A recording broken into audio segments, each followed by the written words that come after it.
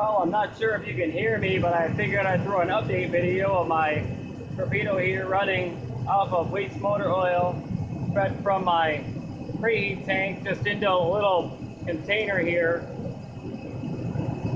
Uh, got this set at a certain rate, so kind of kept the container filled the same amount as the unit's drawing. Um, as you can see, there's nothing going into the fuel fuel hole for the torpedo heater. It's drawing directly through this hose, which is just 100% motor oil. Just heated up, preheated in my tank here.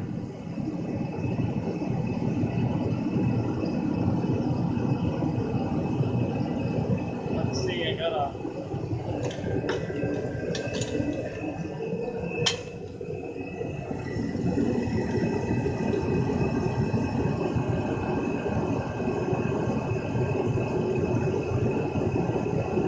It's a lot more in the video. Uh, it's quite a bit more orange on the front cone than it is.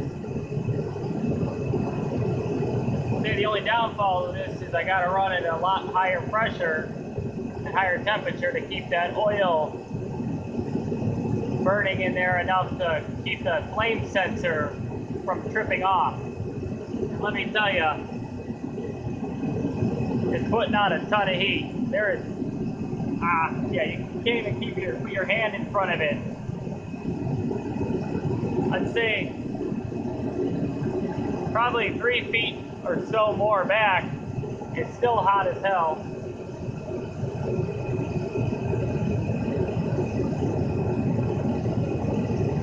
And uh, believe it or not, I actually got this to fire up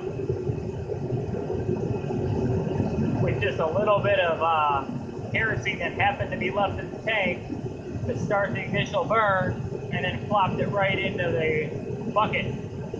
So here's another video. It can be done.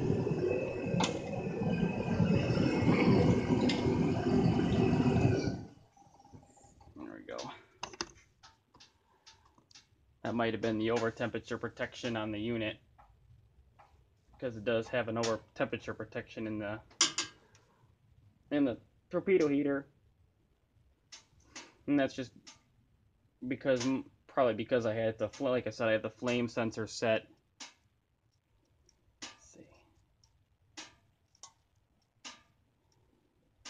I had the flame sensor set uh,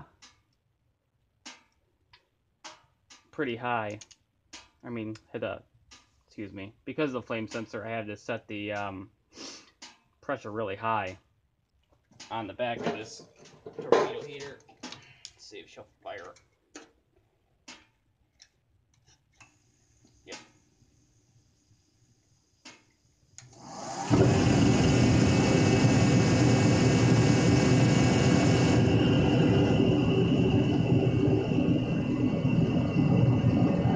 I could probably get it to run continuously if I would just get rid of the flame sensor, but then it would never shut down if the flame went out. So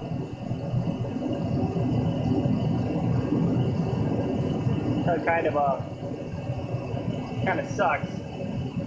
But with a little bit of tinkering, it works.